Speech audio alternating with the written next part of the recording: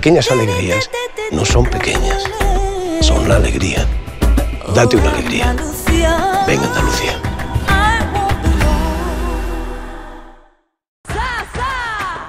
Turismo Andaluz patrocina este espacio.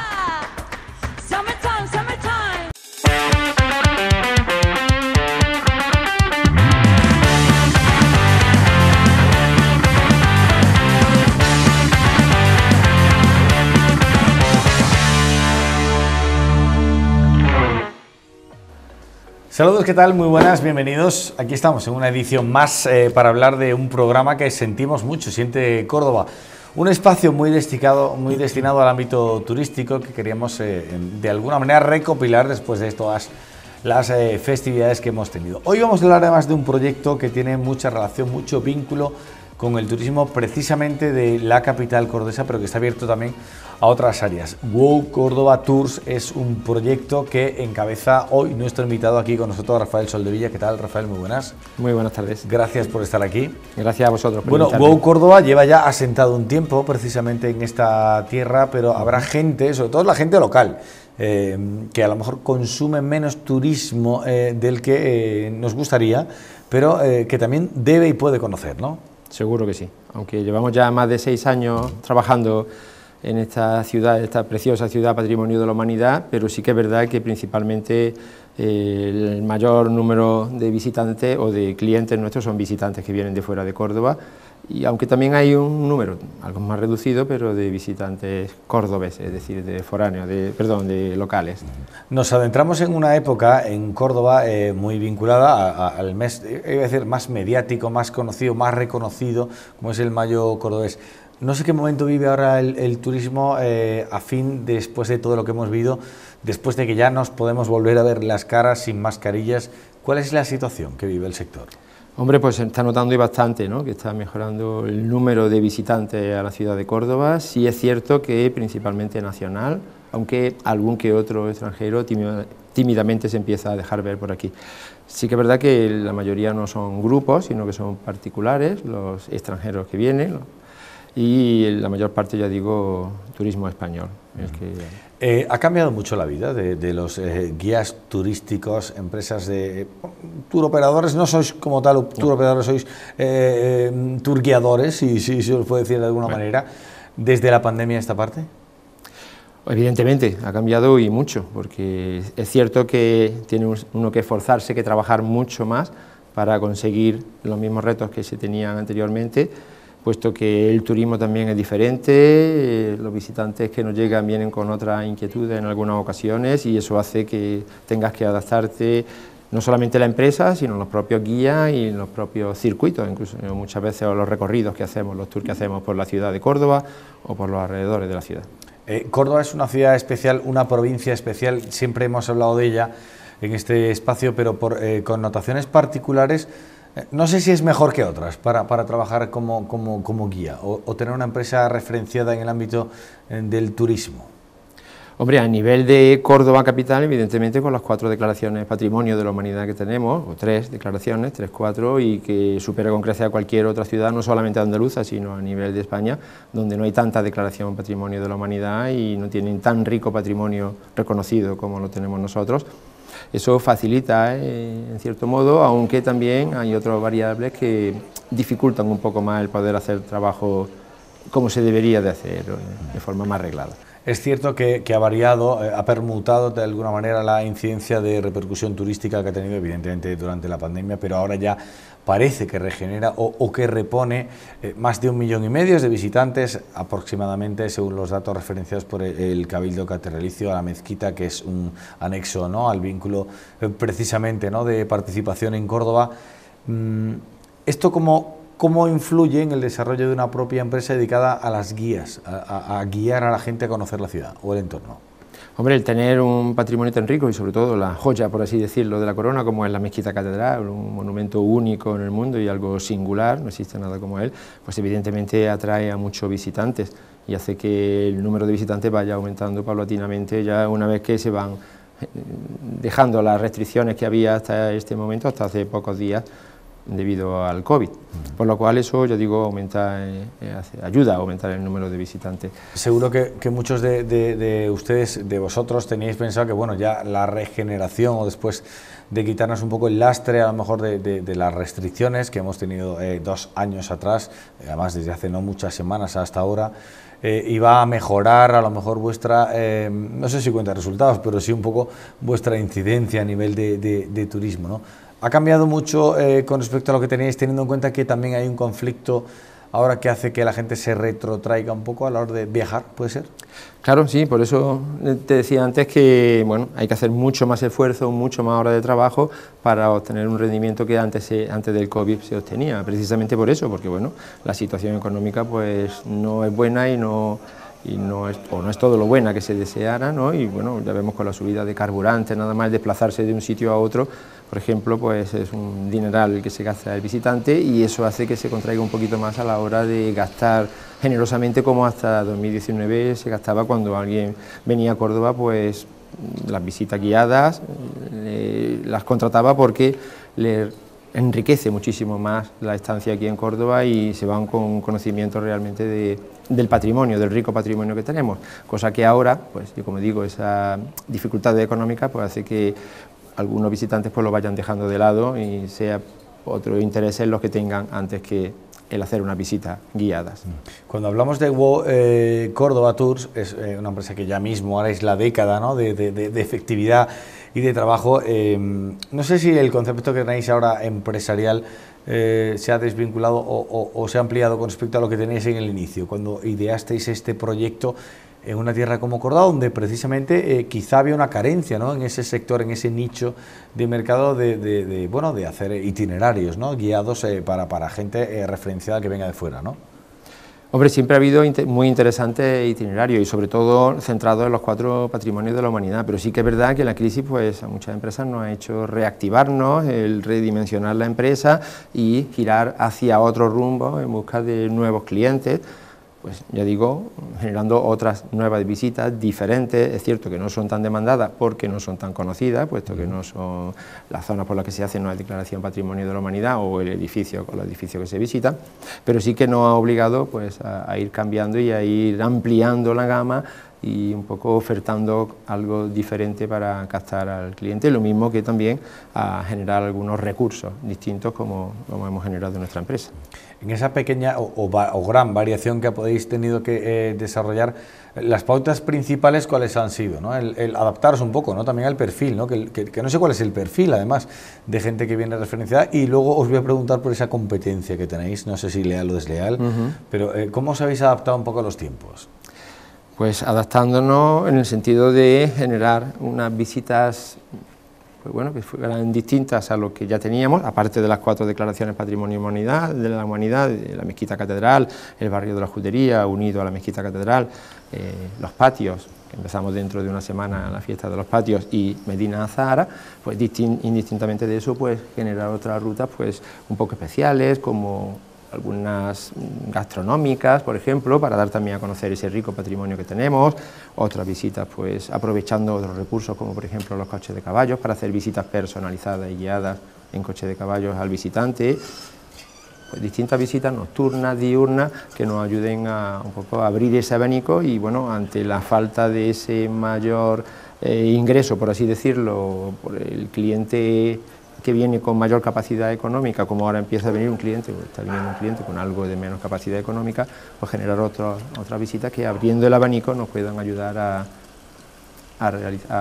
cubrir esos costos que toda empresa debe. Asumiendo precisamente el, perfil o el cariz a lo mejor de gente, de gentes que puedan llegar, de familias, de turistas, eh, ¿hay algún denominador común? Ahora hemos visto que durante la pandemia se ha agravado, es decir, se ha incrementado lo que es el turismo más eh, de zona, más territorial, más nacional, conocido como tal, eh, en detrimento de que eh, ha habido menos visitantes de, de fuera, pero claro, yo no sé si ahora hay un denominador común post pandemia, igual que durante pandemia ha tenido un cariz, ahora a lo mejor post pandemia empiece a asumir otro y no sé si muy parecido al que había antes de ella.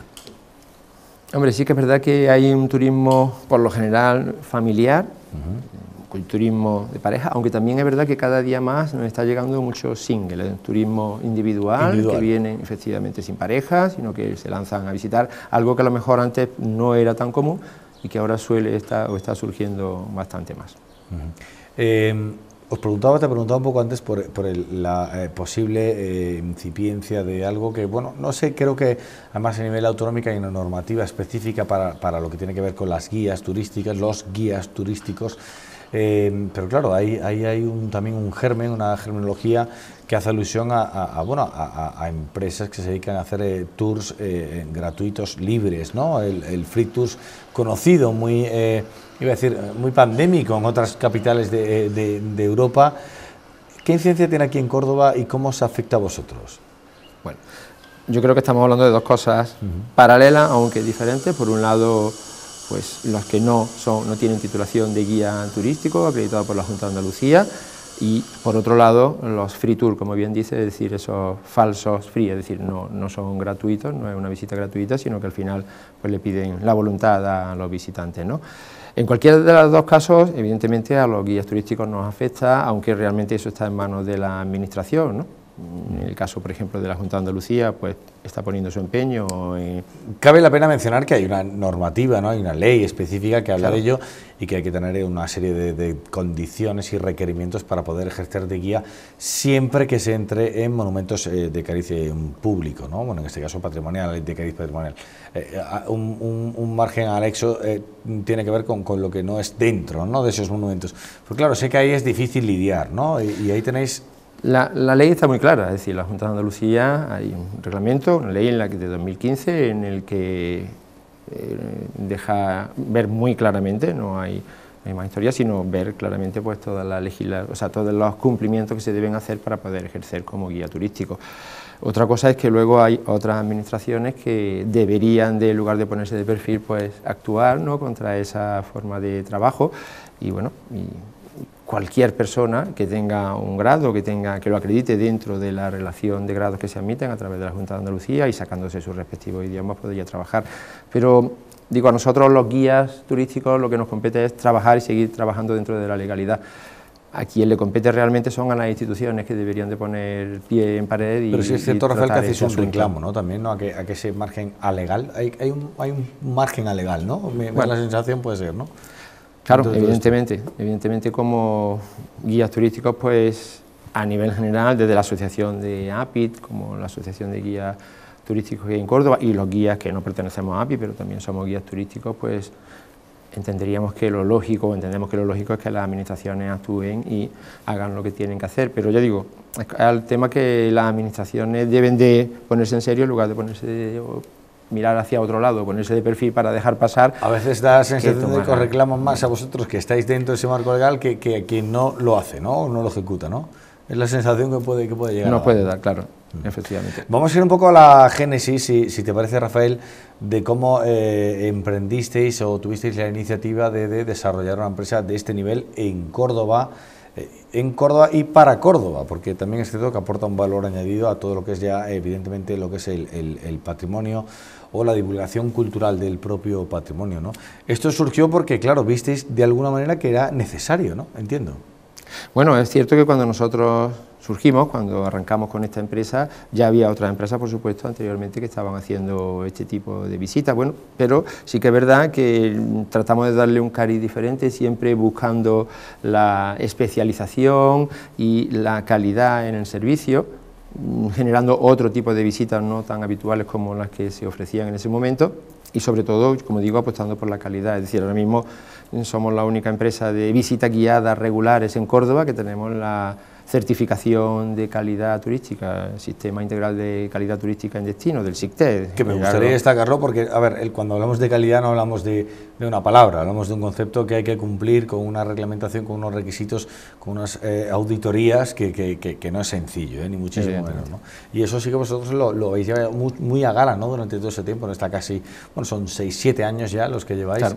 Y, y no entiendo que no sea fácil tampoco, ¿no? No, evidentemente, además desde que nos lo ofrecieron en el Intour a través de, de- el ayuntamiento, la delegación de turismo del ayuntamiento, apostamos por ello y nuestros guías están certificados en calidad turística por el SICTED, lo mismo que también estamos certificados en RASGO, que es ese acrónimo que engloba los- todos los servicios turísticos, entre ellos guías turísticos de la red de judería española, al igual que también nos estamos terminando de formar, somos eh, Muslim Friendly, que se llama, es decir, acreditados por el turismo, para- preparados para el turismo musulmán y también estamos llevando a cabo la certificación halal o tratando de conseguir la certificación halal para estar adaptados no solamente dentro de calidad al servicio en servicio turístico a nuestros clientes, sino además a un cliente más específico como el hebreo o como el musulmán. Hace no mucho tuvimos precisamente eh, aquí a representantes responsables además de, de- de- de, bueno, de esas instituciones eh, halal que, que, insisto incluso en, en Ramadán bueno pues ya nos explicaban un poco cuáles eran esas connotaciones y la calidad que teníamos que ya se ejercía en Córdoba sobre eh, visitantes de, mm, que vienen de esos lugares ¿no? de régimen eh, islámico musulmán en este caso. ¿no? Eh, hay algo que sí que me gustaría destacar un poco que es vuestra, eh, ya no solo la iniciativa que tuvisteis a cabo y la apuesta eh, por la calidad, sino que eso lo hagáis sostenible, porque estáis generando además también eh, grupo de riqueza, y ya no digo un grupo de riqueza eh, solo tangible en el caso, sino también el grupo intangible, ¿no? porque la gente se va de aquí con un recuerdo de la tierra que vosotros habéis eh, apostillado mucho y seguís apostando mucho por ello. ¿no? Sí, evidentemente, siempre tratamos de hacer de la mejor manera posible ofrecer nuestros servicios, de dar la mayor calidad de servicio en las visitas, incluso, como tú bien dices, a través de la sostenibilidad. Gracias a la Delegación de Turismo de la Junta de Andalucía en Córdoba, eh, hemos podido llevar a cabo un proyecto que se llama Apliguía, por el cual apostamos por esa sostenibilidad. Eh, Todos estamos hartos de ver cuando paseamos por alrededor de la mezquita catedral como hay los propios casquitos o casquitos de un solo uso, o los alambritos que atan esos casquitos, o los plastiquitos de tanto whisper como se utilizan, es decir, tantos radioguías como se utilizan, y que al final acaban tirados en el suelo por las calles cercanas a la mezquita catedral o al barrio de la Judería, y que generan una contaminación no solamente medioambiental, sino energética, etcétera. Y entonces nosotros, ya digo, gracias a la Junta de Andalucía, hemos apostado por un desarrollo de un programa de sostenibilidad en el que eh, hemos creado una página donde se llama Apliguía, donde el cliente, con su teléfono propio y sus auriculares, entrando a esa página donde le damos acceso a nosotros y le damos un código, escucha lo que el guía va hablando por su teléfono y por sus micrófonos.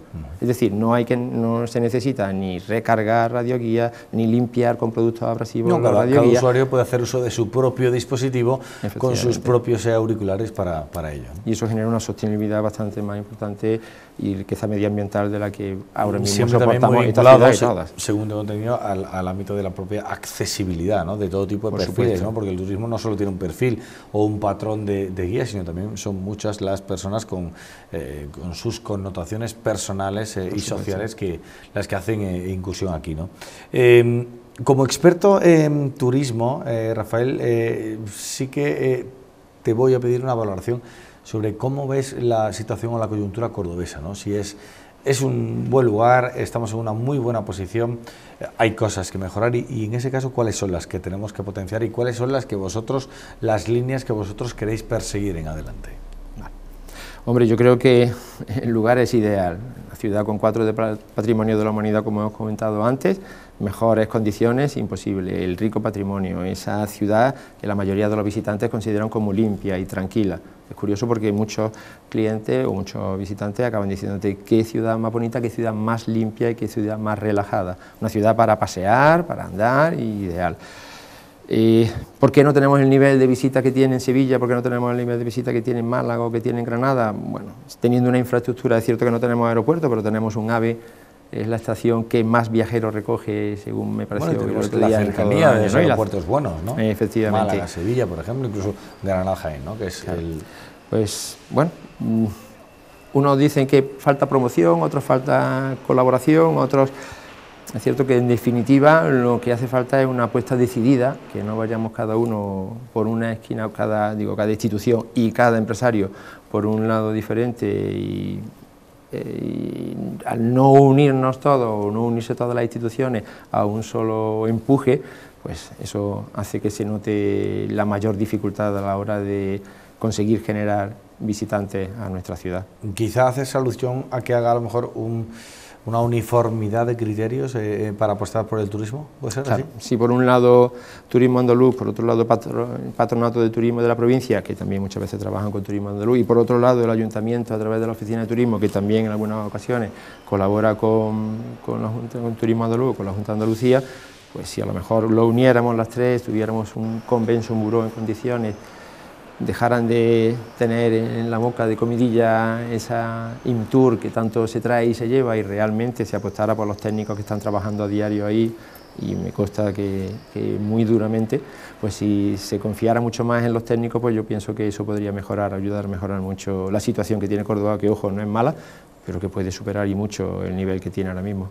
De ahí un poco también la relevancia ¿no? que, que- y, y la sinergia que puedan establecer o podáis establecer empresas eh, privadas con las propias administraciones. Sí es cierto que de un tiempo a esta parte eh, eh, se ha visto a lo mejor un poco más de impulso, ¿no? Esta es mi sensación, que no sé si será así como tal, ¿no? Otra cosa es que se haya podido fraguar a tenor de la coyuntura COVID, ¿no? Pero eh, sí es cierto que creo eh, que la línea va eh, a lo mejor con un criterio mucho más rígido, ¿no? Sí, evidentemente va algo más, se nota, eh, como tú bien dices, ¿no? de cara a partir de la situación COVID, pues se ha notado un mayor empuje, un mayor un- unión de esfuerzos ¿no? por distintas eh, empresas y sobre todo por las distintas instituciones, aunque vuelvo a insistir en lo anterior, ¿no? que hay algunas instituciones que de vez en cuando pues, se ponen de perfil y dejan pasar situaciones tan complicadas como lo que hablábamos antes de, de los free tour, que bueno, eso ya digo, son las administraciones quienes tienen que gestionar ese tema, pero bueno, en definitiva siempre el turismo gratuito, el turismo donde cada uno pone el dinero que le parece bien, lo único que atrae es visitantes que diésel, como se les suelen llamar, ¿no? Un andan de- mucho y consumen poco. Eh, dicho lo cual, eh, también me gustaría eh, preguntarte, ¿no? Pues por eh, el, el, eh, el rumbo que, que- que- que debéis tomar. Digo, empresas de ámbito turístico que estáis muy focalizadas y que tenéis ya un volumen de, bueno, ya no solo de actividades, sino de empleados, eh, bueno, de, generar, eh, eh, como decía, tangibles e intangibles. El rumbo que tenéis que asumir a partir de ahora, ¿cuál creéis que es o hacia dónde va vuestra directriz? Yo creo que siguiendo en la línea de calidad, de dar un buen servicio, la diversificación, la diversificación de, de servicios, en la medida en que, bueno, encasillarse en una serie de, eh, servicios concretos, pues eh, complica la posibilidad de seguir avanzando y seguir creciendo como empresa. ¿no? Entonces, en la medida que se diversifique sin excesiva diversificación, porque eso puede conllevar a, a una dispersión y a perderse un poco la empresa en, en una gran nube, ¿no? pero sí que en ir diversificando y generando nuevos servicios, nuevas ofertas que puedan atraer al visitante y sobre todo que ayude primero a la desestacionalización, tan traída y tan llevada como llevamos hablando muchos años, que es conveniente en Córdoba y sobre todo ahora cuando llega el mes de mayo nos damos clarísimamente cuenta, pero también en la, no solamente en la desestacionalización, sino en la oferta más rica, más amplia de, servicios que ayudan a la mayor pernoctación, el mayor número de días de pernoctación de nuestros visitantes. Mm, eh, has mencionado ahora mayo, eh, lo decíamos antes también al principio de la entrevista. Eh, Córdoba no es todo mayo, pero sí es cierto que influye mucho ¿no? el mayo cordobés. ¿no? Pero a lo mejor la, la- la apertura a otras zonas de, de estacionales, eh, a otros periodos de, de- de la vida, eh, otras estaciones, ya sea el propio invierno, la primavera, que, que- que la, la defendemos como tal, incluso el propio verano, ¿no? el otoño, eh, ¿no conseguiría a lo mejor una mayor eh, em, afluencia de, de turistas que a lo mejor nunca han pensado en venir aquí en esa época? Por supuesto que sí, si además lo ideal es eso, poder eh, desestacionalizar ese mes de mayo en el sentido en que se- las ofertas sean amplias en la primavera, en el verano, como tú bien dices, a nivel de ofertas nocturnas, como ya hay alguna oferta, o incluso, ¿por qué no?, en, la- en- en el otoño y en el invierno. ¿no? El- Córdoba es una ciudad que no tiene excesivo, no, no- no es una ciudad de excesiva lluvia, por desgracia, eh, durante todo el año, con lo cual no hay una climatología adversa que pueda decir es que en invierno es imposible ir, porque está nevado, porque no hay apenas, lamentablemente, lluvia, y por otro lado no son unos fríos extremos, no estamos hablando del norte de España, con lo cual facilita mucho a que el visitante pueda venir y pueda disfrutar de, de esta- de estos tiempos. Pero sí que es verdad que lo más conocido es mayo, lo que se trata de representar cuando se van a la feria es el mes de mayo, Claro, eh, si lo que hace es, es machacar y machacar y siempre incidir en la misma fecha, en el mismo mes y con la misma imagen de esas macetas y de esos preciosos geranios y, y gitanillas que lucen en nuestros patios, ahora ya a partir de estos días, pues evidentemente lo que hace referenciar al mismo mes siempre, ¿no? Y al final, pues te dificulta mucho más esa desestacionalización. Sí, lo que- de alguna manera lo que hace es dirigir un mensaje hacia un mes, pero Córdoba es mucho más, ¿no? Que, que- que todo eso y muchos más tiempos, ¿no? Eh, WOW Córdoba Tours es una empresa, insisto, que, ya asentada en Córdoba desde hace mucho tiempo. Eh, si alguien, bueno, tenéis toda la información en, en internet, página web, pero me gustaría que clasificarais un poco por el perfil, por esa demanda que os llega de, de- de turistas, ¿no? ¿Qué es lo que más identifican y qué es lo que más exigen o escogen y qué es lo que más os gusta también de alguna manera aportar? Hombre, lo que más nos exigen o lo que más nos piden es un, un buen servicio donde el cliente pues, se vaya satisfecho, haya disfrutado, haya podido conocer sin, sin excesivas masificaciones de grupos excesivamente grandes, donde además el cliente bueno, pues se deje acompañar por nuestros guías y aconsejar en la medida en que le vamos a ofrecer unos, unas buenas unas visitas guiadas con un nivel de calidad muy alto y lo que nosotros evidentemente vamos encaminados es a ofrecer eso, un nivel de servicio, diferenciarnos en la medida de lo posible de otras empresas, ofreciendo un servicio con mayor calidad, hasta el punto que, por ejemplo, aunque bueno, sé que, que hemos emprendido una guerra contra una pared, ¿no? porque evidentemente bueno, una guerra tampoco se trata de eso, pero una, una lucha contra la pared, pero sí que es verdad que hemos sacado desde nuestra empresa, hemos querido darle la vuelta a la tortilla de esos free tour. En lugar de ofrecer visitas donde el cliente decide qué precio nos va a pagar, que es lo que en definitiva es el free tour, no es gratis como algunos se dejan llevar por eso, sino que lo que hacen es aportar el dinero que les parezca bien después de la visita. Nosotros lo que tratamos es darle la vuelta a la tortilla en el sentido de que al contratar cualquiera de nuestras visitas que ofrecemos, les regalamos, es decir, un- le, le obsequiamos. Un valor añadido, una- ¿no? a efectivamente, a esa- a esa- dándole un valor añadido, le obsequiamos con una visita de una hora por la parte del casco histórico que menos se frecuenta, pero como un valor añadido, no como yo presto mi servicio y ahora quedo a la expensa de lo que tú me quieras dar o no. Yo no conozco todavía ninguna profesión, hablando de profesionales, que trabajen por la voluntad de los demás. No sé si alguien conocerá algún tipo de profesión que se dedique a trabajar por la voluntad de los demás, no entiendo por qué los guías turísticos tenemos que trabajar por la voluntad de los demás. Que entiendo que el free tour es una lucha perdida porque empezó hace muchos años en Europa, se ha extendido por todo el mundo y aquí evidentemente pues sigue creciendo como sigue en todos los sitios pero bueno, también surgió porque eran chavales jóvenes que no tenían titulación y que se dedicaban, pues, con su idioma que tenían nativo, pues, a hablar, a generar grupos en los destinos, ¿no? Eso no tiene por qué llevarnos a que los profesionales tengamos que trabajar del turismo, tengamos que trabajar por el precio de los demás. Otra cosa diferente, y es con lo que nosotros le damos la vuelta, es un obsequio, un detalle que queremos tener con nuestros clientes, aparte del servicio de calidad que tenemos, que ellos nos contratan pagando un precio estipulado y público, pues tener un presente con ellos, un regalo, un detalle, una mejor, un valor añadido, como tú bien decías, a través de esa visita Pues eh. Rafael Soledía, ha sido un placer eh, tenerte con nosotros hoy y que nos eh, guíes también por el ámbito de- del turismo y de los propios tours que se hacen eh, en Córdoba, eh, WOW, eh, guías, eh, bueno, son WOW Córdoba Tours, eh, guías turísticos además de aquí, eh, gente que conoce profesionalmente, digo profesionalmente, con formación, con titulación, lo que es eh, Córdoba. De hecho, él mismo traía los propias, las propias credenciales, ¿no? Que es con Sí, claro. eh, Junta de Andalucía, eh, El Cabildo de la Catedral, el Cabildo. De la propia catedral. ¿no? Eh, apostamos siempre por, eh, en este programa pues, por traer ¿no? y, y por mostraros todo aquello que repercute eh, precisamente en la evolución de Córdoba, en el desarrollo como tal. Empresas como esta asentadas eh, que conforman y dan empleo también en la tierra, que, que generan además ese interés por algo que ya de por sí lo podría tener previamente, como es la propia visita ¿no? al patrimonio. Rafael Soldevilla, insisto, ha sido un placer tenerte con nosotros Igualmente, y os deseamos es lo mejor.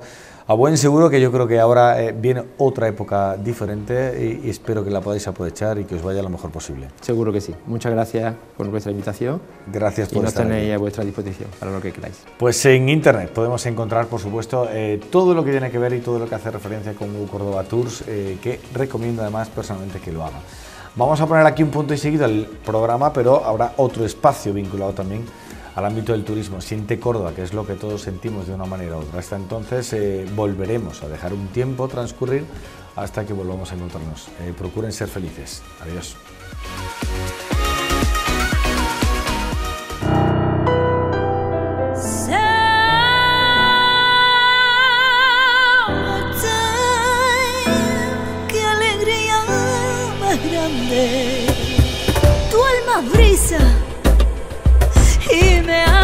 Cantar. Las pequeñas alegrías no son pequeñas, son la alegría. Date una alegría. Ven Andalucía.